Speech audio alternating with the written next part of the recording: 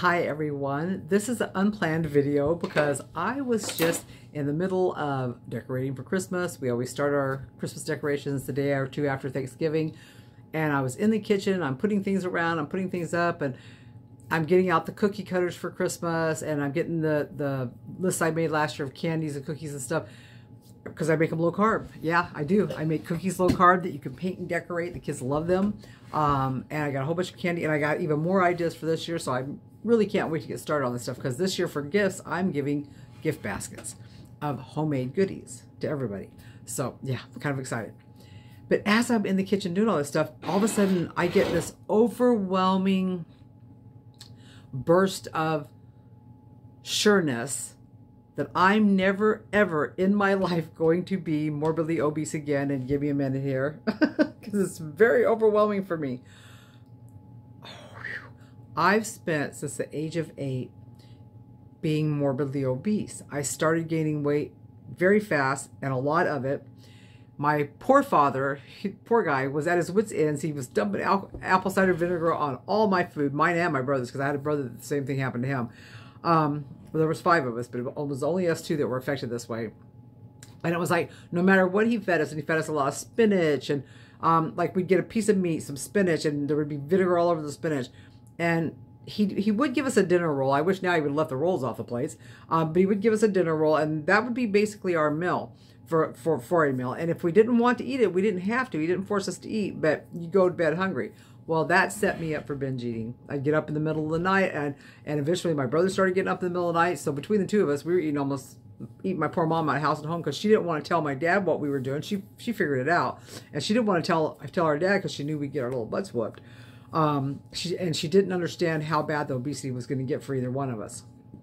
So when I had that feeling today, I it just it just wow, it almost brought me to my knees. I was just like, oh my God, I'm never going to be morbidly obese again. This is my third year of being low carb vegan. I'm never going to stop being vegan. I, I, said today in the kitchen earlier when my grandson was here, um, I will never stop being vegan, even if I found out it was the very worst thing for my health because I do the veganism for the animals. It's all about the animals for me. I went vegan overnight when I saw this documentary that just really affected my heart. Um, I understand that it's not for all people. I get it, but for me, it affected me and, and it, it, solidified that I will never eat an animal product again on purpose. Um, but it happens that occasionally something will get put in something or I'll have something that I don't realize. It does happen occasionally. I'm not so um, crazy about it that I freak out about it. I'm just like, ah, darn it, you know. But it's only been like eight years for me. I'm still trying to figure things out. Um, so anyway, I don't care if veganism is the healthiest diet. But what happened was the first five years of me being vegan, I was doing the high carb, low fat diet. And man, I'm telling you what, it was killing me. It was killing me, Smalls. It was killing me. I I don't even know how to explain to you how bad it got. That I remember going on this diet that I'm not going to mention who it was or, or, what it was because I found out that I can get in trouble for that stuff. I'm not going to do that. Um, I remember going on this diet where you ate all potatoes for two weeks. And the first time I did it, I gained 16 pounds. I thought, holy hell, what is wrong with you? Why didn't you stop at five or 10 or whatever? Why did you keep going? But I kept going because somewhere in my brain, I kept thinking, if I do this exactly the way they're saying, it's going to work. I'm going to have a big whoosh and I'm going to whoosh out 20 pounds. Apparently, is what I thought. Never happened. And that that isn't even the worst the worst part or the craziest part. You know the definition of insanity is to keep doing the same thing over and over again looking for a different outcome, right? I did it again. That time I didn't last the whole two weeks. I think I quit around day eight because I was putting on a pound a day and I was like, I can't do this. It doesn't work for me. Um, so that was that was kind of my first intuition that certain foods were messing me up in the whole weight loss weight department. I've spent I'm 62 and I have spent since I was 8 basically dying dieting dying felt like I was dying dieting. So I've spent pretty much my whole life dieting. I've lost weight several times. I've lost 100 pounds enough that I told somebody one time, I said, if I had lost, I've, I've lost three or four people in my life, lifetime or more, depending on their size. Um, if I would have just known what I know now, if I would have known back then what I know now, oh my goodness. And I, I try, I strive and I try so hard, like in our group, in the little groups that I run, the little boot camps and stuff, my, my fondest desire is to give these women or, or people what I found and to give them a way out permanently because I really truly believe that what I do can be a way out permanently for people. And it's not hard. You know, I decided to go low carb. I didn't go high fat for two reasons. One, I had a plugged artery, and I'm just not willing to plug that up any worse. The second reason was because I'd had a stroke. Um, and the third reason is because I just don't believe that when you have fat on your body, you need a bunch of extra fat. That doesn't make sense to me. You know, I don't I don't necessarily believe the fat you eat is the fat you wear either. I know that's a thing. Could be a thing. But I believe it's a combination of the fats and the carbs and the way they combine together. I believe that that's the biggest issue. So I'm very careful to not do that, combine carbs and fats and things like that. Now, if I'm going to make some stir fry, I may use a teaspoon of avocado oil. Um, and if anybody who watches me when I cook and stuff will see me measuring out like a teaspoon of avocado oil for the whole dish and stuff. Um, I'm not crazy about a lot of fats. I love avocados. I think avocados are amazing for our bodies. And, and my understanding of the avocado is that our body doesn't store the fat from avocado like it stores the fat from other products because of all the fiber. I really hope that's the truth. And it seems to be for me in my journey. And, and it seems to be that goes like that for the women that join my groups and stuff. So we're hoping that that's the way that really goes. I don't care about the fats in olives. I don't eat a whole lot of olives. I'll eat four or five of them at a time. I think that's a serving in uh, most of the jars I get. And I was using tahini as a source of fat, which I just recently quit tahini, the nut butters, the nuts, the seeds, and oils because I'm doing a, a low, low, low fat thing right now. Um, and that's just me. I do that around the holidays because we're taking in more um, goodies like the the sugar, not sugar cookies because I don't use sugar. I, I'm completely 100% sugar free. It was really funny at no, at Thanksgiving this year. Everybody was questioning me, how can you sit there and not eat any of these desserts? I said, number one, they're not vegan. I have vegan desserts at home. I have vegan pumpkin pie at home. I have vegan pumpkin tarts at home. I have these vegan cranberry bars we made this home. They're frozen into little bite size or, or one serving sections. And when we want one, we just take one out of the freezer and there we go. But I don't have to have desserts anymore because I haven't ate real sugar for long enough that I don't have sugar cravings. And matter of fact, if I was to have a couple bites of sugar, which I have had, um, not recently, but before, it sets off cravings. It sets off cravings for breads and carbs and sugars and things like that. And those are things that I don't want to eat for health reasons, um, just all kinds of reasons, and definitely for weight reasons. It was shocking to me how much weight I lost, especially in the beginning of doing this when I decided I was going low carb and I cut out the bread or the breads, the beans, the the oatmeals, all of the all those heavy grains like that. Um, I cut out potatoes, all the different kinds of potatoes. I even cut out butternut squash and carrots in the beginning. All the squashes and stuff that were the winter squashes and stuff. I cut out a lot, and peas. I cut out peas. I cut out all that stuff, lentils, all that um, in the beginning, and, and weight poured off of me. It just poured off of me, and I was like, what is happening?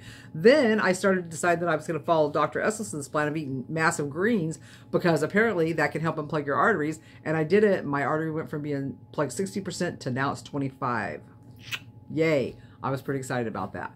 So I believe in massive greens. And, and I also found when I was eating the greens that all of a sudden I wasn't hungry anymore. It was stalling out my appetite. I wasn't craving things anymore the more greens you eat, the more it works. In the beginning, I was doing 12 to 14 servings. Trust me, I was in the bathroom a lot. It was ridiculous. Um, but I really felt this driving urge to unplug that artery before I had another stroke. So I had a, I had a driving reason to do what I did. I don't suggest for most people that they start out with 12 servings of greens because it's a massive amount of greens, guys. But I do say, you know, four to six cups a day. If, if that's if four to six cups of greens a day is part of your diet, you're not going to get a whole lot of everything else. You know you're gonna you're gonna toss in a half a lemon here and there. You're gonna squirt your greens down with. You're gonna do some avocado with them because bats help you um, metabolize the vitamins better and the minerals. Then you're gonna do some proteins a couple proteins for the day. And then you might make you some protein bread or something to go with your meals. I mean there's so many different ways you can do this these days so many ways and we've come up with a crap ton of, of recipes and not even on purpose i i kind of i play my kitchen like chopped it looks like chopped in my kitchen every single day. I go in, I fling open the, the freezer and the in the refrigerator, and I look at it, I go, oh, I need to finish off these vegetables before they go bad, or we need to turn this leftover into something new. Um, and I need these things out of the freezer to go with this. Then I start pulling out all my spice. It seriously looks like chopped. I don't go into the kitchen usually with a plan. If I plan something like the kids are coming over and we're going to have a vegan meatloaf dinner, then I have to literally shop for that dinner. If we're planning for uh, vegan nachos night, like we're, we got something like that planned for this this month. I have to go shop for those things when I'm going to have those things for the family. I don't have those kind of things in my house. I have all vegan, low carb stuff. So when I want to shop, I just get in there and start making things up with what I've got. And it works out every time, you know, every time. So, how do I know that I'm never ever going to be obese, morbidly obese? Like, like right now, I still have that last 20 that I've hung on to for the last year. Um, ever since my surgery, I cannot seem to budge this thing, but it is kind of budging right now. So I'm really happy about that. Um, but I got that last 20 that I'm not overly worried about because, hey, I have my neck back. I can fit into size 8 and 10 jeans. I am comfortable wearing sweatshirts and running around the house in them. So I don't stress a whole lot about being a little overweight right now because it's so weird to say I'm a little overweight and to know that that's really all I am. Whereas before I was like 150 pounds overweight, 250 pounds overweight. I, I was so big at one time in my life that I just stopped getting on the scales because first of all I had to go to the doctors usually to get a special kind of scale because I don't remember having scales that weighed over 350 pounds back then um, that you could have at home or at least I never did have any but um, it's different now it's it's but but the way that I know that it's never going to be a thing again is because when when I, when I eat too much if I eat a, a larger amount of food I try to keep my food like to where my stomach pouch doesn't stretch out more than this. Because I read this thing one time that your stomach is as big as your fist. Um, and I'm not not just one time. I've actually heard this a couple times. Your stomach is as big as your fist. So however big your fist is, is how big your your stomach pouch itself is. And that when you eat, you should be able to stretch it to about a size and a half to two sizes of what it is, and that should be it. And you should have a full signal, and you should be told no, no more. Okay, so that I never had that. I never had that full signal. and your stomach can get grossly stretched out and it fits differently in your body because it's grossly stretched out. And you can eat and eat and eat and eat and never get the full signal because it never hits this little roof part up here that has the, that's where that signal is. Um, so I I, I coined the term small people eat small for several reasons, but one of the main reasons is because I wanted to train myself to eat small because I knew that the difference between me weighing 265 and me weighing 140 was going to be the amount of food I ate. Okay, it just was. It absolutely was going to be the amount of food I ate, the the high calorie point in the foods I ate. Some, I mean, when you're living on nut butters and nuts and seeds and stuff, when when that becomes your favorite food, that becomes a problem, or at least it did for me. Um, so I knew that, that it was a twofold thing. I, I had to eat less and I had, had to put the right foods in my system. And that got to be a habit. And here I am on my third year. I just celebrated my third holiday doing this.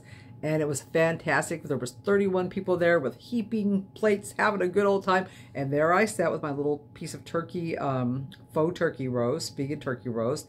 And I had my little bit of breadless stuffing that I made that I learned how to make this year that is fabulous. And I had a little tinier serving of the green bean bake that I made vegan myself.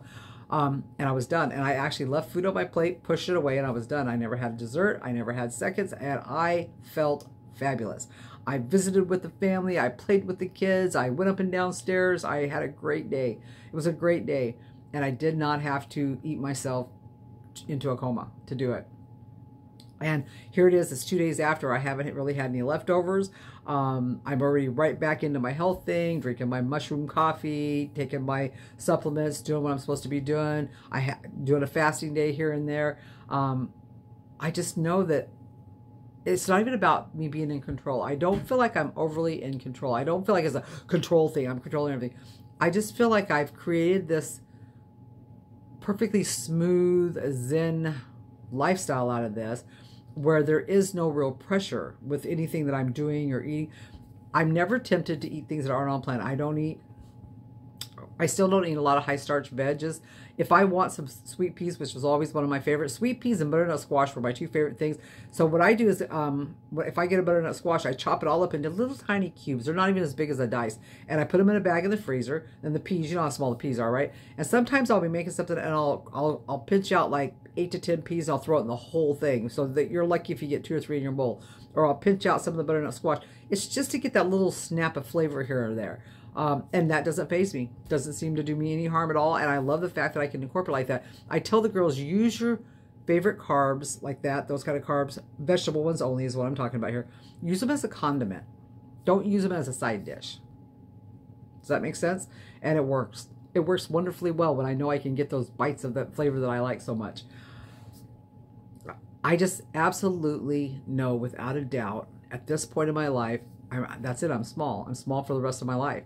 Whenever I hear somebody say, "Oh, that thin woman over there," or "Oh, that," or or no, she's smaller than so and so. You have to get over here. You're smaller. Whenever that that term comes up in relation to me, I go, "Oh, okay." It feels weird, but okay, I'll take it. Um, especially one day when some lady said that thin woman, we were all looking around and, and she was talking about me, and I was like, "Oh, did she just call me a thin woman?" I don't think anybody's ever called me a thin woman. That's pretty cool. So, and I and I want to explain to you guys what the whole small um, small people eat small really really means to me.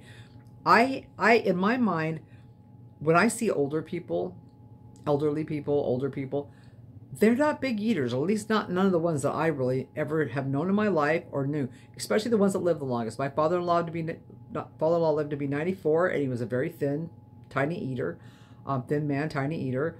Um, I had an ex-mother-in-law. She was very small. She very tiny eater as she got older. I just know a lot of elderly people that eat small, and I've and I've been a volunteer in an elderly home where I went and read books to them one time. The smallest ones ate the smallest, and it seemed like they lived the longest. I don't think as we get older we need as much food. We're not as active. We're not as busy. I'm not if I was working out all the time, if I was doing a lot of heavy lifting, I, I do some, but not a lot. If I was doing that kind of stuff like I was doing in my 40s, I could probably eat more and get away with it. But I still think that as I get older, I think as all of us get older, you're just going to naturally eat a little less. You know, I, I just, for me, to be a small person, I have to eat small. I have to have that mindset. I've wrapped my mind around it to where, you know, that's why, you know, taking seconds is never a thing for me. I just don't eat second plates of food ever. And back in the day, I can remember having seconds and thirds, you know, so at one time I did. So I just know that those days are behind me now. And I know that eating small for me is going to keep me a small person and maybe help me live a little longer. Because ever since that stroke happened, I've worried a little bit about that. So if me eating small and being a smaller person can help me with my health goals and what's coming up down the road, I'm all about it if you're if you're struggling with your health, if you're struggling with your weight, if you're vegan and you've tried the high carb, low fat thing and it hasn't worked for you, if you would like to try a lower carb, still low fat, but not as low, but lower, um, come look us up. Come come look us up on Facebook, Vito Low Carb Vegan. You know, I mean, come and see us. Come and check us out. And if you could do me a favor and like this video and maybe subscribe if you haven't already, that would be lovely. I would appreciate. It. I have a goal right now just to try to see if I can get to 500 uh, 500 followers. I know it's not a huge goal, but that's my goal right now. So if you can help me out, great. All right. Have a great holiday, you guys. I'm not sure if I'll be back on here before the holidays end. It just depends on if I get another. I told you guys I'd never disappear forever, but sometimes I disappear for a while because if I don't have to say, what's the point, right? Um, but yeah, that's it for now. Have a happy holiday. Ciao.